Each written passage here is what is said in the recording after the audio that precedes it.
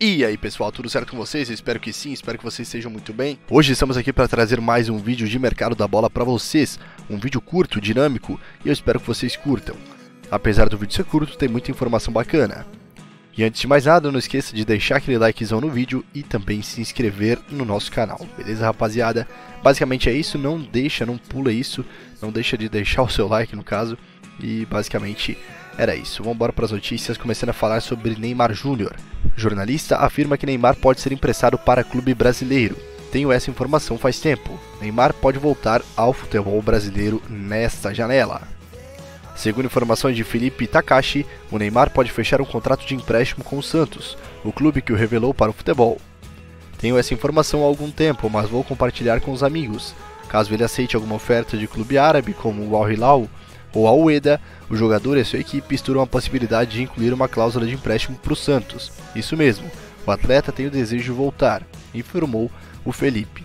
Ele ainda completou: o desejo de voltar ao Santos é 100% do próprio Ney. Isso deve ficar claro. Neymar é cria do Santos e teve um grande sucesso no clube, conquistando uma Libertadores e também uma Copa do Brasil. Acho que quem acompanhou o Neymar jogando aqui no futebol brasileiro sabe que ele foi muito absurdo, sabe? Quão absurdo ele foi aqui no Campeonato Brasileiro. Cara, na minha opinião, foi o jogador que mais bem jogou aqui em território brasileiro. Vocês vão falar que teve Ronaldo Fenômeno, que teve Ronaldinho, mas o cara que fez magia acontecer dentro dos campos do futebol brasileiro nos últimos anos foi Neymar Júnior. E é isso daí, rapaziada. Vamos embora falar de Real Madrid agora, que tem acordo verbal com o goleiro destaque da Copa do Mundo.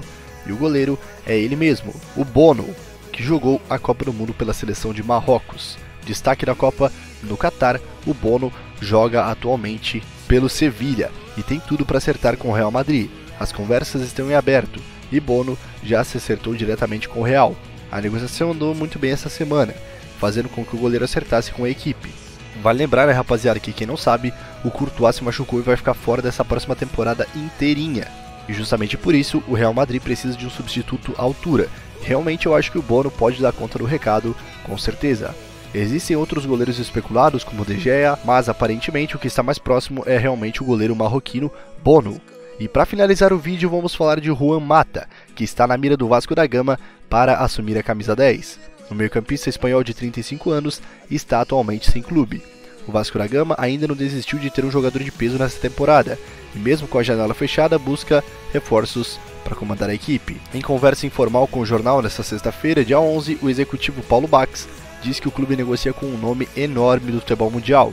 Vale lembrar que os clubes brasileiros só podem contratar jogadores que estejam livres no mercado, ou seja, que estejam sem clube. E é o caso realmente do Juan Mata. Deixa aqui nos comentários o que vocês acham sobre essa possível contratação.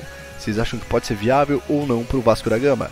Acho que pode ser sim uma excelente contratação, se ele vier 100% com certeza vai ajudar muito. O estilo de jogo dele é bem parecido com o estilo de jogo do Nenê, então acho que vai se encaixar sim com a camisa 10 do Vasco da Gama. Basicamente era isso, rapaziada. Espero que vocês tenham curtido o vídeo, que tenham gostado. Um vídeo curto, eu sei. Vocês preferem às vezes um vídeo um pouquinho mais longo, com mais notícias, mas foi o que deu para trazer hoje, beleza? Um grande abraço e eu fui.